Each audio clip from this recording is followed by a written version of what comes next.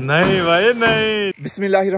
अस्सलाम वालेकुम अल्लाह ताला की रहमत, करम, फजल और शुक्र के साथ आज का व्लॉग करते हैं। जी, शुरू मैं उम्मीद करता हूँ कि आप सब लोग खैरियत से होंगे। देखें जी, अपना ब्लैक पैंथर क्या हालत हो गई हुई है इसकी? यार, इतनी गंदी हो गई हुई है गाड़ी के, क्या बताऊँ मैं आपको? कल लाहौर गए हुए थे। भाई, मुबशर को लेने के लिए भाई, मुबशर वियतनाम से आ चुके हैं। तो भाई साहब, रास्ते में बारिश शुरू हो गई। तो फिर अपने ब्लैक पैंथर की ये हालत हो गई। अभी इसे मैंने कल धुलवाया था, कल और लग ही नहीं रहा कहीं से किसे धुलवाया हुआ है। खैर, इसकी भी सफ़ाई करनी है अभी, नहीं तो सुबह सुबह बाहर से ना सर्विस स्टेशन से धुलवा लेंगे। खैर मेन पॉइंट पे आते हैं। इधर रही टाइल्स कल मैं लेके आया था टाइल्स ये साढ़े सात मीटर टाइल्स हैं। ये चार छोटी बोरियाँ जो हैं बॉन्ड है और ये पीले कलर में, पीले पैकेट में भी एक तीसरी चीज़ है, इसका नाम मुझे याद नहीं है अभी। तो ये टाइल्स अभी इस दीवार पे लगानी है। यहाँ इस दीवार में नमी आ गई हुई है। पहले पेंट करवाया, वो उतर गया, फिर मैंने पेंट करवाया। अभी आप ये देख सकते हैं क्या हालत होगी हुई है दीवार की। तो अभी इस दीवार पे ये टाइल्स लगाई जाएँगी। उम्मीद है कि भाई साहब ये टाइल्स टिक जाएँगी और ये नमी जो है गायब हो जाएगी। तो ये टाइल्स लगाएँगे सकलैन भाई के मामू जान। तो सकलैन भाई के मामू जो है वो आगे हुए हैं।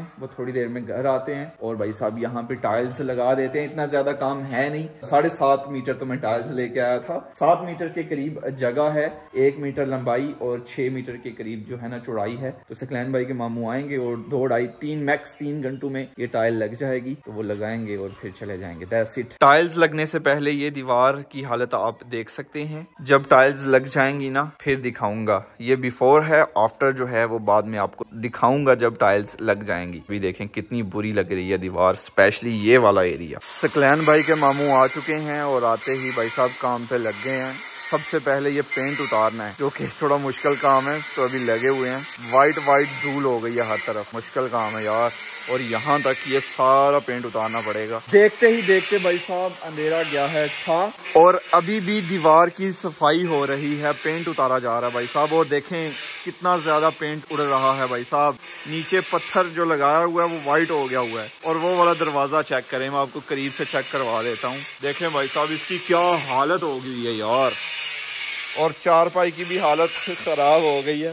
लेकिन ये सफ़ाई करना ज़रूरी है। अगर पेंट ऊपर ही रहा ना तो टाइल्स हमने लगा दी ना तो काम ख़राब हो जाएगा। फिर टाइल्स कुछ टाइम बाद उतरना शुरू हो जाएँगी। शाबाश शाबाश जो आना नई रिसात तेरिया। किन्नी दिहाड़ी है तेरी? आहो। तू की त्रै हज़ार वाला काम किया कंध तोड़े करना साडी ओए बटन बचाई। अच्छा जी पेंट जो है उतार दिया गया है। देख रहे हैं ना आप जितनी जितनी जगह से पेंट उतरा है ना इतनी इतनी जगह पे ही टाइल लगेगी। और ये हथौड़े की मदद से थोड़ा थोड़ा सीमेंट तोड़ा जा रहा है ताकि पकड़ सही करे।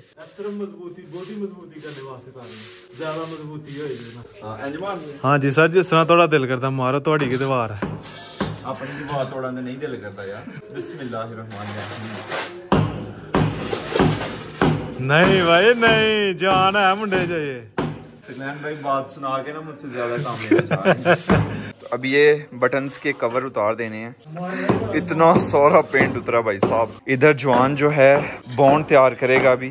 थोड़ी देर पहले ही मैं बाल कटवा के आया हूँ और मैंने शावर नहीं लिया हुआ तो अभी मुझे लग रही है ठंड। घर जाऊँगा शावर लूँगा और मोटी सी जैकेट पहन के मैं फिर आऊँगा और देखते हैं मेरे आने तक जवान जो हैं कितना काम कर देते हैं। तब तक आप ये टाइम लैप्स इंजॉय करें।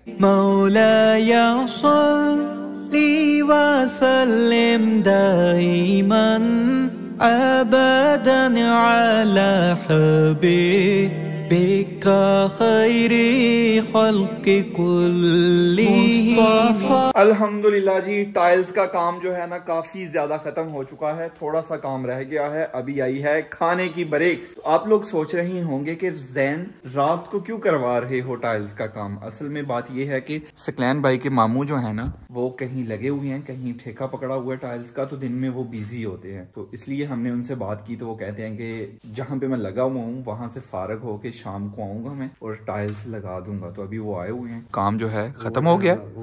ओवर टाइम बिल्कुल। ओवर टाइम तो अभी खाने की ब्रेक है। चलो सकलैन भाई खाना खाओ यार। तो खाना जो है रेडी है। बिस्मिल्लाह जी। खाने के बाद जी चाय आ चुकी है। थोड़ा सा ही काम रह गया।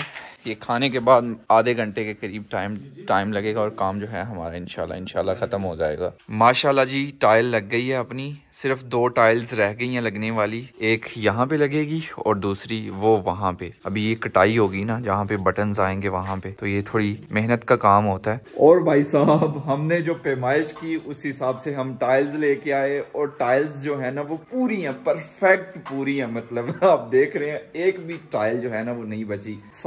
सारी की सारी जो है वो आ गई हैं। माशाल्लाह जी माशाल्लाह जी टाइल्स लग चुकी हैं। देखें कितनी प्यारी लग रही हैं टाइल्स और पहले भी आपको मैंने ये दीवार दिखाई थी तब कितनी बुरी लग रही थी। अब देखें भाई साहब अब तो अपनी दीवार चमक रही है भाई साहब। और ये ऊपर ना थोड़ी सी धूल पड़ गई हुई है। अभी आपको मैं चेक करवाता हूँ। वो पेंट उतारा था ना तो ये देखें ये ये जरा धूल पड़ गई हुई है ऊपर। तो इसकी सफ़ाई होगी ना। लगता ही पेंट इको जी है यार। बाकी ये दरवाज़ा देखें इस पे कैसे धूल पड़ गई हुई है यार। सुबह खैर कड़कती धड़कती धूप निकल आई है भाई साहब। कल संडे था तो कल अच्छी खासी बारिश हुई आज है मंडे और आज भाई साहब अच्छी खासी धूप निकल आई है। तो रात को इधर टाइल्स लगाई गई थी और देखें कितना सारा पेंट भाई साहब नीचे बिखरा हुआ है। उतार दिया था ना दीवार का पेंट। तो अभी जो है ना आँखें पूरी खोल के ना टाइल्स की तरफ़ देखा नहीं जा रहा चमक रही है ना टाइल्स। इधर रहा जी अपना ब्लैक पेंथर उस तरफ़ रहा। टार्जन तो ब्लैक पेंथर को धो दिया है भाई मुदस मुदस्सर ने देखे माशाल्लाह। क्या चमक रही है गाड़ी, माशाल्लाह। तो अभी घर वाले जो हैं, मेरे होने वाले ससुराल जा रहे हैं तो उसी की बस तैयारियाँ चल रही हैं, गाड़ी धुल गई है। तो अभी घर वाले जो हैं, वो निकलेंगे। रात को इधर टाइल्स लगाई जा रही थी और पेंट उतारा ना पहले। तो भाई साहब, इधर बाइक की हालत देखे। यार, सफ़ेद होगी ये बाइक ओए ओए ओए, ऐसे जैसे पता नहीं कितने सालों से इधर ये बाइक खड़ी है। आ जाए। ये कौन आ रहा है, सद के? पर्स तो दिखाएँ अपना, पर्स तो ओपन करें। वाह ये क्यूटी पाई कौन है? चाचू की जान है। चले अंदर चले आराम से। आपने हमारा ख्याल रखना चाहिए सब घर वाले जा रहे हैं मैं अबू जान और छह बच्चे हैं घर। बाकी जितने भी बड़े हैं ना वो सारे जा रहे हैं मेरे होने वाले ससुराल। और एक और चीज़ अभी मैं और सकलैन भाई लेके आए आपको दिखाता हूँ क्या है। भाई साहब कोई रस्म और रिवाज होते हैं होते हैं मुझे कोई समझ नहीं आती है। पूरा तोड़ा घर के चावल जो है गाड़ी में रख दिए गए हैं। कुछ चीज़ें जो है वो घर वाले खरीदेंगे रास्ते से नहीं नहीं कोई ज़रूरत ही नहीं। अच्छा। हाँ। भाई अफजल आए हुए थे। ये पूछने के लिए लेंटर आज चलेगा ना? जनाज में तो ये पूछने के लिए आए थे कि बीच में कोई डिब्बी तो नहीं रखनी? डिब्बी मतलब के जगह रखते हैं, पंखा लगाना हो, बल्ब लगाना हो तो उधर तो बिजली है नहीं तो मकसद नहीं है रखने का। तो मैंने बोल दिया रहने दें। बाद में भाई मुबशर से ना क्लास लग जाए कि तुमने क्यों बोला रहने दो? होनी चाहिए। लेकिन बोल दिया सो बोल दिया। कोई बात नहीं।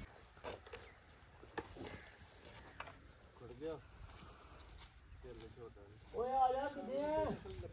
ਪਾ ਪਾ।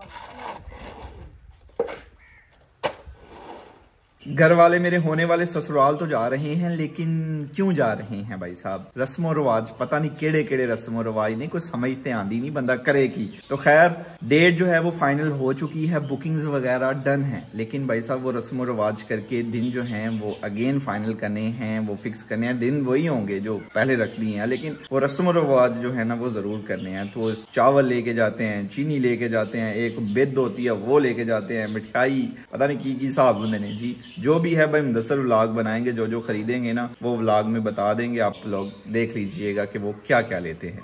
अल्लाह हाफिज़। अल्लाह हाफिज़। बिस्मिल्लाहिर्रहमानिर्रहीम अस्सलाम वालेकुम अल्हम्दुलिल्लाह जी अभी हैं हम बिलाल स्वीट पे टाउन यहाँ से मिठाई हमने लेनी है तो लेते हैं इंशाल्लाह।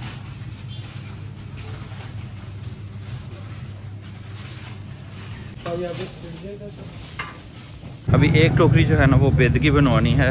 उसमें बहुत सारी चीज़ें होंगी। सौंगी आ गई, गरी आ गई, बाकी भी चीज़ें आती हैं। फिर उनको पैक करवाना। बखाने आ गए, बादाम आ गए, बादाम बड़े वाले, अच्छे वाले हैं, और शवारे हैं, पताशे आ गए, और कैंडीज़ आ गई।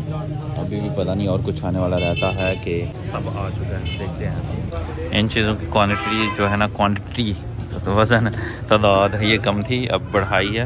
ज़्यादा से ज़्यादा एक किलो की जगह दो दो किलो करवाए हैं। और शवारों के साथ हमने खजूरें भी ऐड की हैं। और ये जी मीठी सौंफ इसके अंदर सौंफ है। ऊपर कोडिंग हुई हुई है मीठे की। अखरोट भी हो गए। सामान जो है हमने यहाँ से ले लिया लेकिन इनकी पैकिंग जो है ना किसी और दुकान से होगी। तभी सामान हम लेके जा रहे हैं उसी दुकान पे जहाँ से हमने पैकिंग करवानी है इन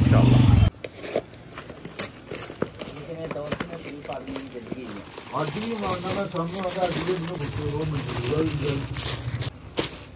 करेंगे बात से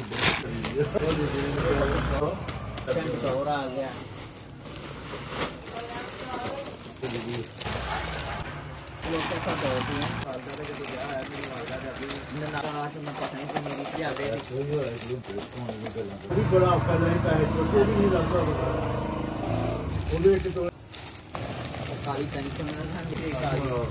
लिखा है।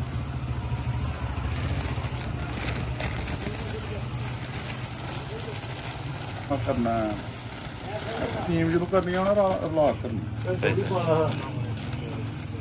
ਬੈਗ ਨਹੀਂ ਭਰਾਵਾਂ ਦੇ ਕੰਮ ਆਉਂਦੇ ਨੇ ਤੁਸੀਂ अल्हम्दुलिल्लाह जी मिठाई ले ली वो सामान टोकरी वगैरह बनवा ली उसको बेद की पता नहीं क्या कहते हैं बेद की टोकरी है जो भी है वो सब कुछ ले लिया है अल्हम्दुलिल्लाह अल्हम्दुलिल्लाह तो अभी हम जा रहे हैं जी मंजिल की तरफ तो इसलिए मैंने सलाम ली थी कि ये जैन भाई की वीडियो है और जैन भाई के व्यूवर्स को अगेन अस्सलाम वालेकुम ये बात और आगे जा रही है वो हैवल और टार्जन जो है, ये पीछे पीछे अल्हम्दुलिल्लाह।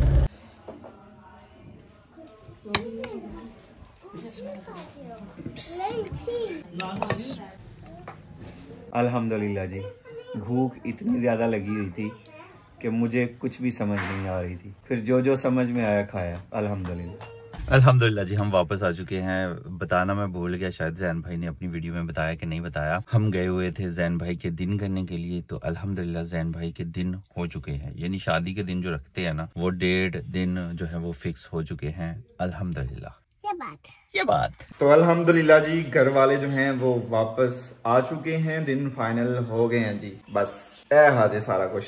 तो खैर आज का ब्लॉग यहीं पे ख़त्म करते हैं। जरुल आबिदीन को दीजिए इजाज़त। अपना बहुत सारा ख्याल रखिएगा दुआ में याद रखिएगा। बहुत सारा प्यार। अल्लाह हाफिज़।